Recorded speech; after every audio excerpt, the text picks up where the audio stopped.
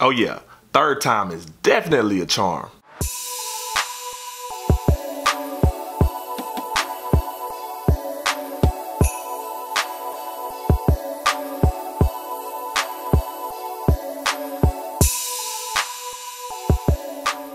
YouTube family, what up though? If you didn't know, I'm DJ Swavor, and this is another episode of Ottoman Box Openings. If you haven't already, be sure you hit that subscribe button right now and make sure you hit that bell button right next to it so when I post something on YouTube, you get it first. Also, if you haven't already, be sure you're giving the kid a follow on all the major social media platforms. On this episode, we're gonna be taking a look at a super dope sneaker that I myself am pretty hyped to have been able to get my hands on. The sneaker I'm talking about is the Sail and Cargo colorway of the collab between Nike and Acronym on the Air Vapor Max Moc 2. If you didn't know, this is the final sneaker of a three colorway sneaker pack between Acronym and Nike on the Vapor Max Moc 2. I happen to have the first two colorways and I actually did a sneaker review on the Black and Volt colorway which was the second release. If you haven't seen that video already, I'll post a link to that at the top of the screen. Check that out after you check out this review right here. And that leads me directly to my question for this video. If a sneaker company releases shoes in a designated pack, how likely are you to try to go after every sneaker in that pack in order to complete it? I know for myself, when it comes to packs, I'm doing everything I can to get every single sneaker in that pack. I don't care if there's five sneakers in the pack and only one of those sneakers is fly. I'm still gonna do everything I can to get those other four wax sneakers. The whole point of a pack to me is to get every sneaker in the pack. I mean, that's why it's called a pack. Now, sometimes going after every sneaker in a pack at one time can become super expensive. What I tend to do is go after the sneaker that I want the most in that pack and then eventually down the line, somehow get the other sneakers in the pack. Doing it that way is a little bit easier on my wallet too. You feel me? No lie. I've literally got one sneaker in the pack and then waited another two years to get the rest of the sneakers. That's how dedicated I am when it comes to completing a pack that released. But of course, I wanna know what y'all think about this subject. Let me know down in the comment section right now your opinion on the importance of completing a sneaker pack. Let me know if you feel like it's an absolute must to complete a pack of sneakers. Let me know if you think it's completely pointless to complete a pack of sneakers. Hit that comment section up right now and let me know your opinion on this question. While y'all are hitting that comment section up, let's go ahead and take a look at this third colorway of the Nike and Acronym Vapor Max collab. Being that I like to call myself a sneaker collector, it was a no-brainer that I had to get this third colorway to complete this Nike and Acronym VaporMax pack. From the pictures that I saw on social media, I honestly felt like this sneaker was gonna be the best colorway to release so far. Sneaker companies kind of have a tendency to save the best for last. I'm hoping that's the case as soon as I open this box. Being that I'm excited about seeing this last colorway, let's go ahead and take a look at it right now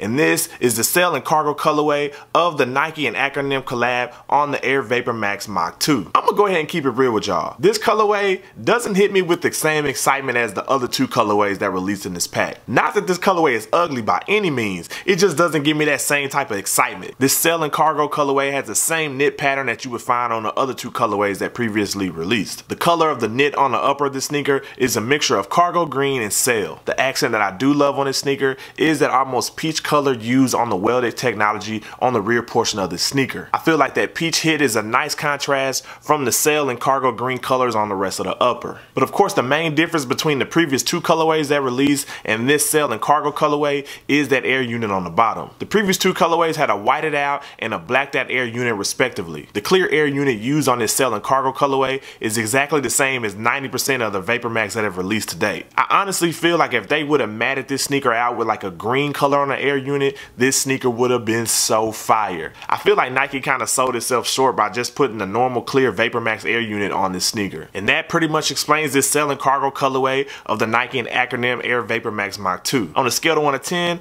I'm only giving this sneaker a 7. Don't get me wrong, this sneaker is fly, but it just doesn't have that dopeness and flair of the previous two colorways that released. And that leads me directly to this. Which one of the three colorways in this Nike and Acronym Vapor Max pack do you think is the flyest? Do you think the first sneaker, which is the black and white colorway, is the flyest in the pack? Do you think this second sneaker in the pack, the black and Volt colorway, is by far the dopest? Or do you think the third and final sneaker in this pack, the Sail and Cargo colorway, is the flyest? Hit that comment section up right now and let me know which sneaker in the pack you think is by far the dopest. I'm gonna go ahead and let y'all know right now, my vote is for the black and Volt colorway. But back to this sail and cargo colorway, this sneaker retail for 220 bucks, but surprisingly, it hasn't sold out everywhere that it released. Being that it hasn't sold out at a lot of places that released it, there is no resale value for this sneaker. If you really want this sneaker and you do your due diligence, you can find this sneaker for retail on a lot of websites. If you're paying resale for this sail and cargo colorway, you clearly like giving away money. If you really want this sneaker,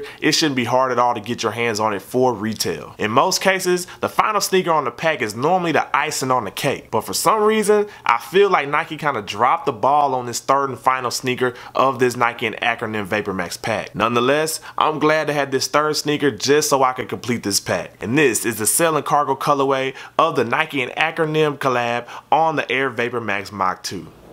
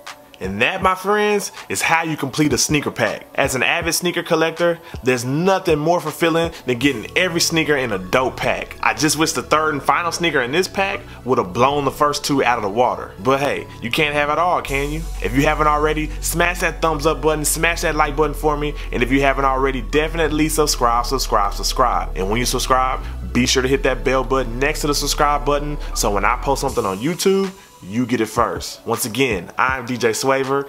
This was another episode of Ottoman Box Openings, and until next time, peace.